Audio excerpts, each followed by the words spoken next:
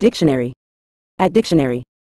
In a general sense, lineal pertains to a direct line of descent or ancestry, typically following a family lineage or bloodline from one generation to the next.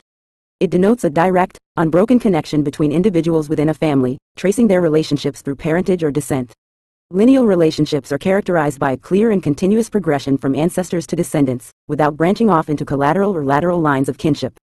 The term can also be used more broadly to describe anything arranged in a straight or linear sequence, such as lineal measurements or lineal succession in leadership or inheritance.